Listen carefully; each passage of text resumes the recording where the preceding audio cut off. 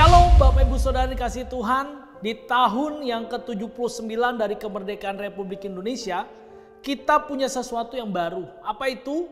Upacara kemerdekaan dilaksanakan di IKN, Ibu Kota Nusantara. Dan IKN menjadi barometer di mana pusat pemerintahan Indonesia nantinya akan pindah ke situ. Artinya kalau ada kegiatan di IKN, tentu itu mewakili kegiatan seluruh Indonesia ini. Jadi kalau ada kemeriahan di sana, pasti rakyat Indonesia juga bergembira. Nah hari ini saudara mirip seperti itu. Ada satu hal penting di mana pusat dari segala-galanya bersuka cita. Apa itu? Surga. Baca ayatnya saudara. Lukas 15 ayat 7. Aku berkata kepadamu demikian juga akan ada sukacita di surga karena satu orang berdosa yang bertobat.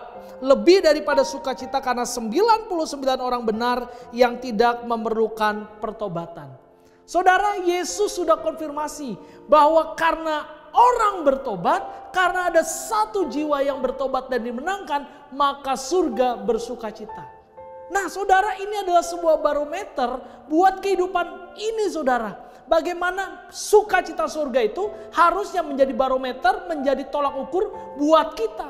Jadi yang kita kejar itu bukan sukacita di dunia, tapi di surga. Caranya gimana? Gak ada cara lain. Yang pertama, bawa jiwa buat Tuhan.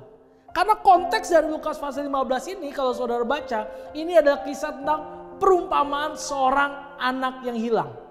Saudara baca lagi sebelumnya tentang dirham yang hilang, tentang pelita, pokoknya semua tentang yang hilang-hilang. Dan intinya adalah yang hilang itu sudah kembali. Jadi sederhana saudara, kalau saudara mau buat sukacita di sorga, sorga bergembira, bawa jiwa. Tapi yang kedua, setelah bawa jiwa apa yang dilakukan saudara? Terus bersaksi. Karena katanya jangan fokus kepada orang yang sudah bertobat. Betul, gereja perlu memuridkan, tapi jangan terlalu enak memuridkan sampai saudara lupa tugas utama saudara adalah beritakan Injil.